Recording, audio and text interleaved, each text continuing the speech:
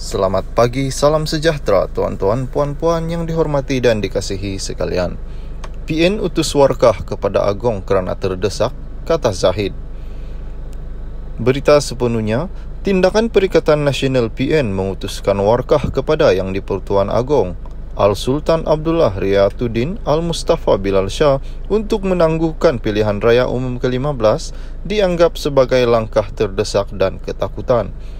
Presiden AMNO Datuk Seri Dr. Ahmad Zahid Hamidi berkata, tindakan tersebut menunjukkan 12 Menteri PN yang terlibat tidak berputus asa untuk mengekalkan jawatan mereka dalam kabinet bertapa sayang mereka akan kedudukan dan jawatan yang ada sekarang hingga takut hilang kuasa mereka.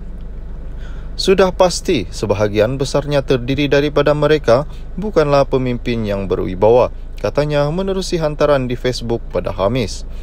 Pada Kamis Sinar Harian melaporkan Naib Presiden Bersatu Dak, Datu Datu Dr. Muhammad Razi Zidin mengesahkan 12 Menteri PN mengutuskan warkah kepada Yang di-Pertuan Agong Al-Sultan Abdullah Riayatuddin Al-Mustafa Bilal Shah bagi menyatakan pendirian untuk tidak diadakan PRU 15 pada tahun ini. Muhammad Razi berkata, gabungan Menteri PN berpendapat kebajikan rakyat adalah tumpuan utama yang perlu diberi perhatian pada masa ini.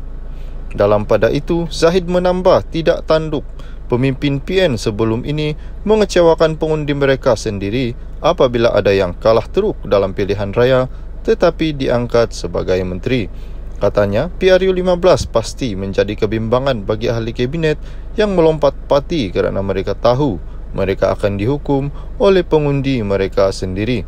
Pengundi marah ketika kempen PRU bercakap, berdengar, degar dan janji pula melangit. Kata demi pengundi, demi parti disayangi. Akan tetapi apabila menang, melompat ke parti lain.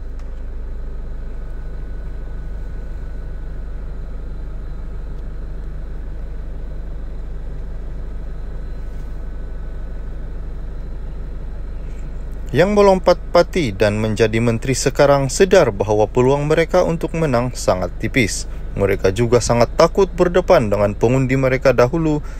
Di mata pengundi, mereka melihat mereka segan hidup, bertanding semula tak mahu, katanya.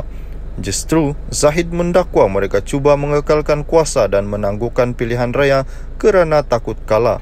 Maka lebih baik kekal dalam jawatan dan kedudukan masa kini menikmati manfaat sebelum hilang kuasa ujar beliau. Pada masa sama, Zahid menegaskan UMNO dan BN tidak akan berkompromi sekiranya terdapat pengkhianat parti.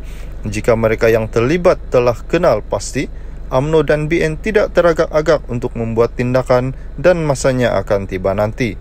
Disiplin parti UMNO dan BN perlulah dipatuhi. Dalam suasana menjelang pilihan raya ini, jangan ada pula cuba berkhianat dan menikam AMNO dari belakang katanya.